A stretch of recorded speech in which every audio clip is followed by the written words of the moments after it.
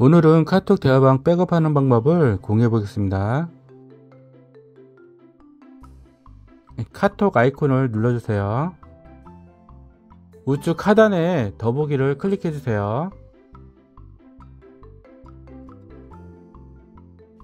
이제 우측 상단에 톱니바퀴 모양을 클릭해 주세요. 화면 중간에 채팅을 클릭해 주세요.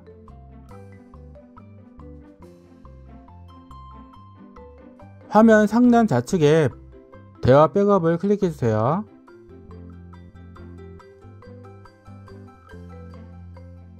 화면 하단에 대화 백업을 클릭해 주세요. 이제 임시로 사용할 4자리 이상 비밀번호를 입력해 주세요.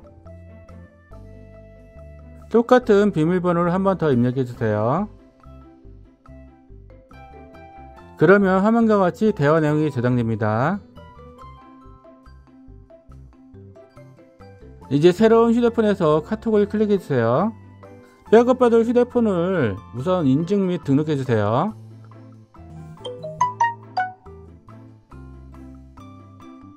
인증이 끝나면 계속 버튼을 눌러 진행해주세요. 조금 전 백업받은 배합 내용을 보관하기 버튼을 눌러 보관해주세요. 백업 시 등록한 비밀번호를 입력하고 확인을 눌러주세요.